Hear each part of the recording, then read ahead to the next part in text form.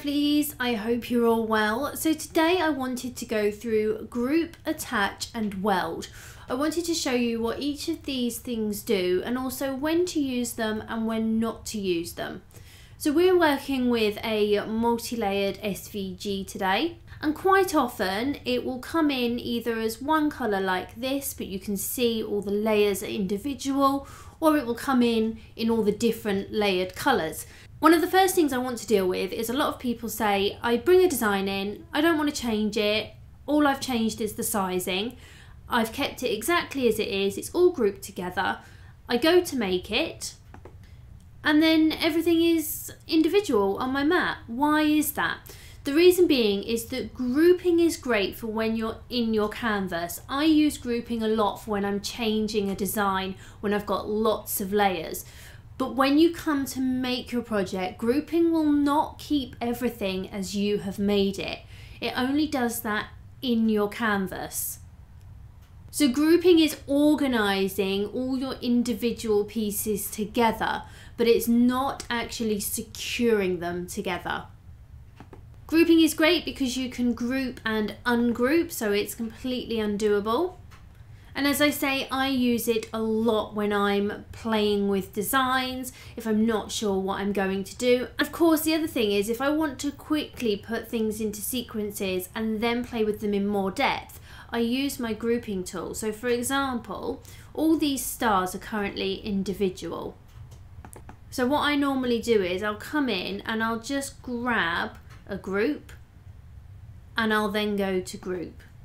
I can then click on them and in my layers panel it will take me straight to that group and I can just hide them straight away.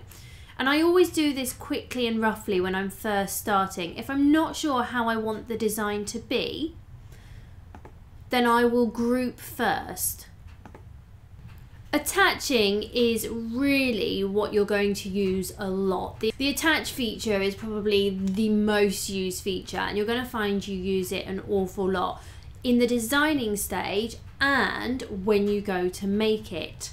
So whereas before where we grouped everything and we then went and made it and everything was out of line, if we just come in and we're going to attach all of these together, You'll see from our layers panel, they're all still individual, so they're their individual pieces. But if we go to make it, you'll see it all stays as we have made it. However, when you're attaching something, it means it's all in the same layer. So it's all one color, it's all in the same layer. Let's say I want to change some of these swirls here. So if I just click on one of the swirls and I click a color, because I've attached them all, it's going to change everything, which is why grouping is really, really good when you're changing the designs. So I'm going to just unattach everything. So I'm going to go to detach. So if I know that I want something the same colour, so for example these circles, I already know that I want them all to be the same colours. So I'm going to highlight them and I am just going to go straight to attach with those. I can then change the colour, let's say to a green. You'll see they are still individual, but because they're attached, they all work with each other. So if you change one, you're going to change them all. Now these ones down here, I might want them in a multicolour. So I might want a line of different colours. So if I just highlight and I group them, if I want to individually click on one of the circles and change that colour, I can. And we're going to do alternative purple for this one. So I'm just going to go through and change the colours on them. Now they're grouped, I've got them in different colours. If we go to make it, they're all going to be individual, which is fine if I want to individually place them. But if I want to transfer all the dark purples at once and all the light purples at once, then grouping is not appropriate for me to keep them that way. Equally, if I attach this as it is now, they're all going to change to one colour. So before I do anything, I'm going to hide the light colours. So I'm just going to come down to my grouping and I'm just going to hide all those light circles. And you'll notice I do everything from my layers panel. I'm not actually going in and moving all of my pieces. I'm using my layers panel to keep everything in place. I'm then going to select the group and I'm going to ungroup. The reason you ungroup first is because they, if I attach just these, it will attach the others as well. So I want to hide them first, then ungroup them. I'm then going to draw around my dark ones and I'm going to attach those. I can then hide them. I'm going to bring back my light purple circles and I'm going to attach those together. So I want to hide this R just to make it easy to grab this area here. So I'm just going to grab this and I want to keep those all together as you see them. So I want them to cut in that pattern. So I am going to attach them and I want to change the colour on those to, let's go with a yellow. Now if I do the same this side and attach this one and we attach and again I change the colour to yellow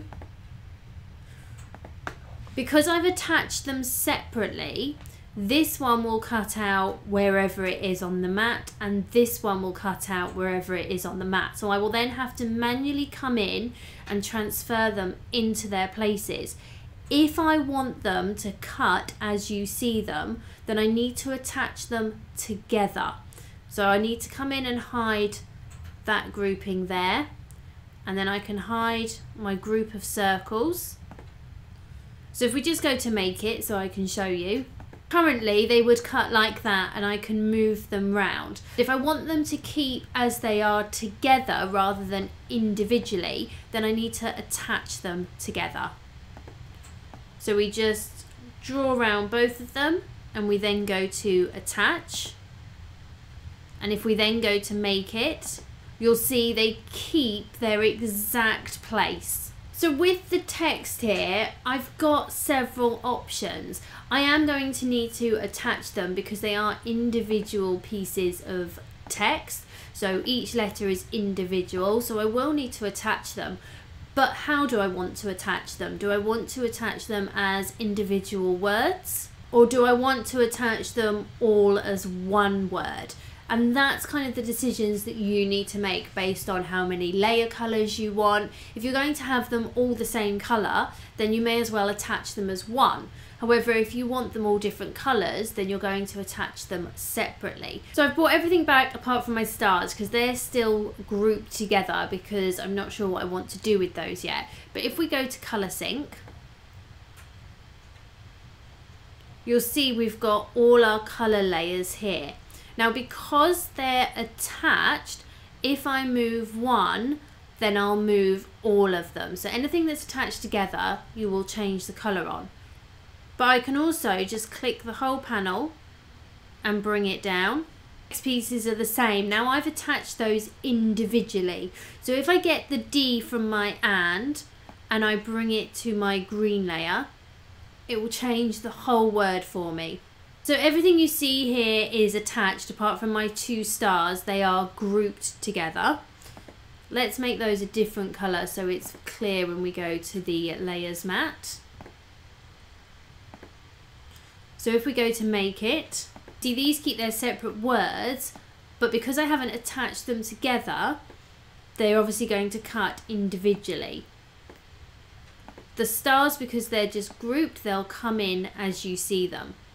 Let's say I want to make everything that's the same colour cut as you see it. So I want to keep all my yellows. So I'm going to hide everything that's not yellow in my layers panel. I can then highlight and attach. And if we then go to make it, you'll see they, they are going to cut exactly as I have created them. Now the last thing I want to talk about is welding. So welding is like super glue. So if you weld something, you then save and you close down Design Space, you will not be able to go back in and unweld. Unweld does not exist. Whereas you can ungroup and unattach, once you've saved a weld and you've come out of Design Space, then it stays as a weld. I always advise if you're going to weld something that you save first and then you do your welding. So there's three ways in which you can use welding. You can use it in something like this. If you've got other designs in your canvas, you want it all the same color, you're happy with the way it looks. If we just go to weld, you'll see our layers panel has dramatically reduced and it's become one complete cut. So whereas when we attach, they're still individual down our layers panel, when you weld, it's just one complete cut. You can undo as long as you haven't closed design space down. Sometimes I'll weld an image like this. Uh, it just depends if I'm working on other things in my canvas, if I've got lots of little pieces, uh, then I will normally weld them just to keep my layers panel nice and clean. But for the most part, when you're dealing with designs like this, which are all individual, you've got individual pieces, you'll be using group and attach. The other ways in which you'll use weld is if you are working with text, so you've got a font like this where you want all your pieces overlapping, you absolutely must weld them together. If we bring our letter space in and we bring them closer together, even if we've moved them with our letter space, you see the S and the P there, you will need to weld. If you attach them, you will get cut where the S meets the P. If we go to advanced and ungroup to letters, and let's just manually move these, so they're overlapping each other as they're meant to be. So if I just go to the P and I go arrange and center front, and the same with the I, let's arrange and center front, you'll see where they overlap and it will cut like that. So if we attach them, well it won't cut like that at the moment, in fact if we go to make it now, you'll see they're all completely individual because we haven't done anything with them. We've left them as individual pieces. If we simply just attach these, you will still see that we've got those joins and your machine will cut those joins. So you'll see the P cut into the I, the I where it meets the R, these will all be seen, so you want to go and weld them. When you weld it, it becomes one complete continuous cut. So everything flows into each other. If you have got any text or any images that are going to overlap and you want them to be treated as one complete piece, then you will need to weld them. So I've got my very beautiful house here. Again, I've got my square and my triangle overlapping. If I attach them, you will see that it will cut out the square and it will cut out the triangle. If we, however, weld them, they become one complete continuous cut. Hopefully this has all made sense. I use my grouping when I am changing designs. I find it's easier to group everything and I can then play with individual groups. When I know how I want a design to be, I will start attaching things together. If you want anything in Design Space Canvas to cut as you see it, then you will need to attach it. If I have anything that's overlapping and I want it to be a continuous cut, so that's text and I always, always recommend welding your text when it's overlapping. In fact, if you attach it, it just doesn't it just doesn't work. You'll end up with all these little cut pieces. So if you've got text that is overlapping, so it's a continuous cursive font, then you always want to weld. And if you've got an image that you want to overlap to create one image, then again, you will want to weld. As always, I hope this has been helpful. Please do subscribe and hit that notification bell and I will see you all again soon. Bye!